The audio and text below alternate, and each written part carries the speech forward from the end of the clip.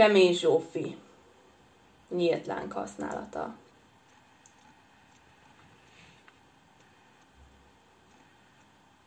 Az otthoni, vagyis az igazi karácsonyfáink évről évre egyre kisebbek. Pedig nem növök már.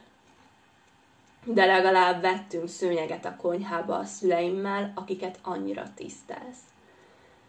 Így már nem fászik a lábam reggelente, mikor a kőre lerakva reggelizem. Közéd és közém is lerakhattunk volna egy ilyen szőnyeget. Hogy ne fázzon a gyomrunk, mikor egymásére lépünk a hideg lábunkkal. Tudod jól, hogy neked szólt, amikor a kutyát megöleltem, és mikor egyedül maradtam advent második vasárnapján és nem gyújtottam meg a második gyertyát. Az is neked szólt, bár lehet, hogy irigyeltem. Irigyeltem a gyertyát, mert én akartam meggyulladni. Ma ne találkozzunk. Az évnek ezen a napján egy másik boldogság emlékétől szenvedek, hiába vagy rám dühös ezért. Már nem beszélek vitatkozol magaddal helyettem is, te úgy is jobban tudod, hogy hazudok, mint én.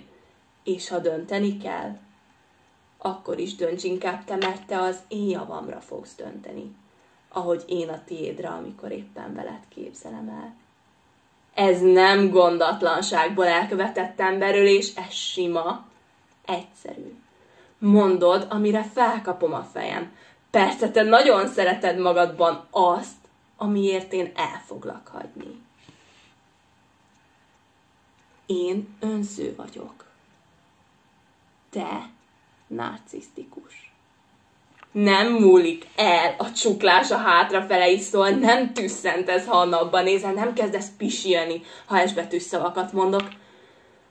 Már tudod persze te is. Már meg is írtam neked ezeket, csak még másnak címeztem. Végül azért hagylak el, hogy ne az oltárnál kelljen. Ott azt hinnénk, én is, hogy csak viccelek. Nem hinnénk nekem.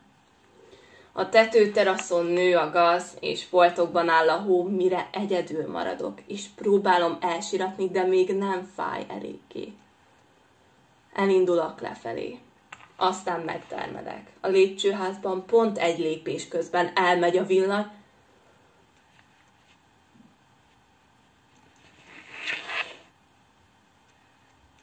hirtelen elfelejtettelek.